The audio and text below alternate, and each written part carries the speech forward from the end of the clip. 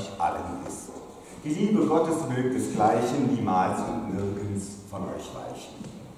Dazu die Gemeinschaft im Heiligen Geist, die brauchen wir zu allermeisten.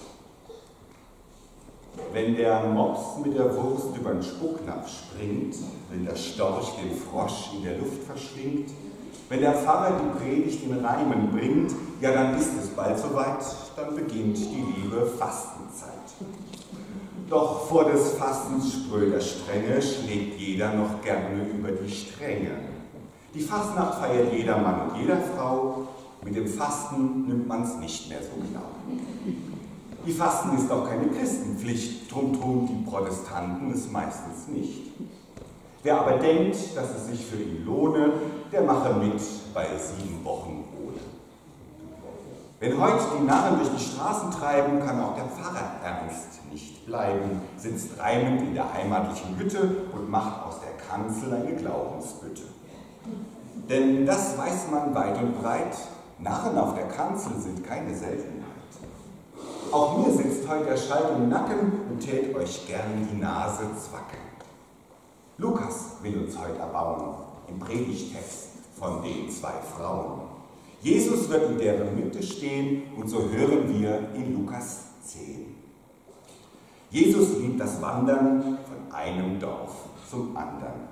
Mit seinen Jüngern macht er Rast und ist in manchem Haus zu Gast.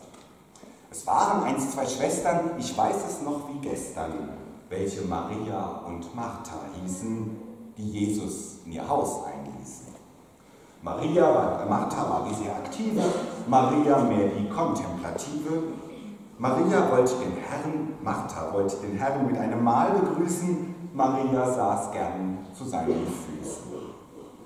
Martha lief dann viel hin und her, schleppte Wasserkrüge schwer, sie wirkte fleißig in der Küche und sorgt für Essenswohlgerüche. Sie deckt den Tisch und zeigt viel Geschick. Der Schwester schickt sie manchen schälen Blick. Am Ende ist sie so zorngeladen, dass ihr reißt der Geduldsfaden. Sie tritt vor Jesus frei hin. Bin ich allein die Dienerin? Meine Schwester sitzt hier müßig und ich spring umher, gemsfüßig. Sag du ihr mit Autorität, dass sie mir endlich helfen tät. Jesus, der eher ein sanfter Mann, blickt Martha milde lächelnd. Martha, Martha, du hast viel Sorge Mühe mit Hausputz, Gästen und der Hühnerbrühe. Und auch wenn du dich so sehr gequält, Maria hat das gute Teil erwählt. Das soll trotz deiner Beschwerden nicht von ihr genommen werden. Moment, denkt Martha, hör ich recht? Macht Jesus gerade die Tücht'gen schlecht? Und auch wir, die wir das gerade gehört, sind wahrscheinlich schon empört. Unsere Sympathien, das ist doch klar, sind bei Martha ganz und gar. Zur Leistung ist Martha stets bereit. Das passt sehr gut in unsere Zeit. Wer sich müht und wer sich selber quält, der hat die Haltung, die bei uns zählt. Denn noch immer achten wir am höchsten noch das Arbeitstier. Am höchsten wird doch der belohnt, der sich und andere nicht schont. So ist der Einfluss in diesen Tagen, dass auch wir immer nach Leistung fragen. Im Jubeljahr der Reformation sollten wir fragen, was hat der Reformator Calvin uns zu sagen? Er sah in Maria kein Problem. Die machte sich doch wohl gar zu bequem. Marthas fleißiges Betragen tat dem Sittenstrengen mehr Behagen. Harte Arbeit für Mensch und Tier, das ist des Protestanten Ziel. Soll der Pfarrer heute die Narren schelten, dass sie vor Gott als Faulpelze gelten? Machen sie doch mit ihrer Narretei gleich drei Arbeitstage frei.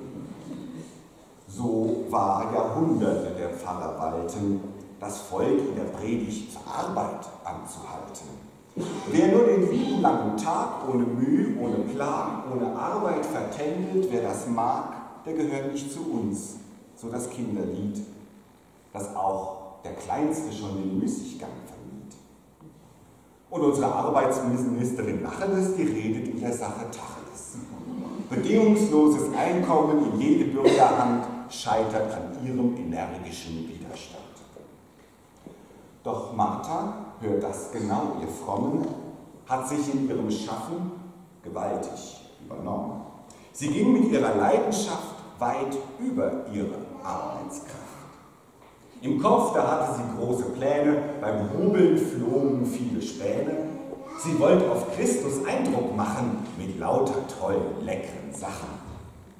Am Ende ist sie knapp an Kraft und Zeit. Da sieht sie die Gelegenheit, doch ihre Schwester für ihre Ideen mitzunutzen. Maria kann doch auch noch kochen und noch putzen. Doch hier gilt Christine milde Strenge, kommt einer mit seiner Arbeit ins Gedränge, dann greift er nicht auf den anderen zu und näht dem seine verdiente Ruhe. Martha, die ältere von beiden, hat über Maria nicht zu entscheiden. Denn das, was Martha so sehr quält, Maria ja nicht selbst gewählt. So will einer ein Projekt durchführen, muss er seine Arbeitskraft kalkulieren. Denn wer mehr will, als er kann, ist mit Überforderung schlecht dran. Burnout ist eine Volkskrankheit, denn der Leistungsdruck treibt uns zu weit. Und dieses Christus zum Zorn reizt, wenn der einzelne Mensch wird verheizt. Und wer um Anerkennung willen zu viel tut, wer den Erfolg will mit Schweiß und mit Blut, dem darf ich offen sagen, der darf nicht mehr auf Christus hoffen. Zeitdruck, Stress und Leistungszwang macht manchen Menschen bang. Drum singe ich bei der Gelegenheit auch mal ein Loblied auf die Langsamkeit. Drum ist der Christenmensch so frei zu lernen, was sein eigenes Arbeitstempo sei. Wichtig ist es, der Arbeit stetig nachzugehen. Dann werden wir am Ende Erfolge sehen. Denn das weiß inzwischen groß und klein. Gottes Mühlen malen langsam, aber sie malen fein. Das anzumerken ist auch wichtig. Maria macht die Sache richtig. Sie ist nicht nur die Kirchentreue und dabei die Arbeitsscheue. Der sieht die Sache gar zu grob, sieht er hier der Faulheit Lob.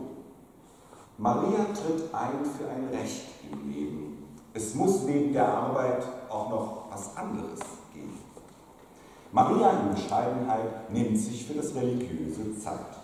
Sie weiß, will sie bestehen im Leben, muss sie dem inneren Menschen auch Nahrung geben. Und sie hat es recht schnell kapiert, ein bisschen Bildung ganzen Menschen ziert. Und sie lässt sich nicht in die Küche schieben, auch Frauen dürfen Bildung lieben. Heute leben wir, das ist ein Glück, in einer frauenregierten Republik. Statt Trump doch lieber Merkel, der ist als Präsident ein Ferkel. Im Jahr der Reformation können wir nicht verhehlen, der Schwesterkirche ist doch zu empfehlen. Ihr könnt euren Zustand reformieren, ließet ihr eine Frau in Rom regieren. Ihr lasst Maria gern im Himmel walten, doch Männer sollen die Kirche gestalten. Sie können sie tragen, des Amtes Bürde, wenn eine Frau mal Päpstin würde. Und das bringt uns Männer schon ins Schwitzen, wenn die Frauen auf unseren Stühlen sitzen. Doch lernt Maria von jedem Kind, Frauen dürfen auch da sein, wo die Männer sind. Dem Menschen das Loblied in den Ohren klingt, der Maria und Martha in die Balance Wer tätig wirkt und recht Muße hält, der kann bestehen in der Welt. Man lasse sich die Zeit für Glauben nicht durch der Arbeit Übermaße rauben. Die Tätigen finden Gottes reichen Segen, wenn sie auch genug der Ruhe pflegen. So heißt es im modernen Streben, suche deine Balance zwischen Arbeit und Leben. Darum würde ich es doch sehr begrüßen, setzt ihr euch ab und an zu Christi Füßen. Das Leben gewinnt an Qualität, wenn auch das Geistige darin zählt. Gottes Fried, so viel höher und breiter als unsere Vernunft, bewahrt uns weiter. Die Herzen, die Sinne und auch die Gedanken. Das soll nun gelten ohne alles Wanken an diesem Tage, in dieser Woche und alle Zeiten, die folgen noch. Das sei bekräftigt in Jesu Namen mit einem herzlichen, kräftigen Amen. Amen.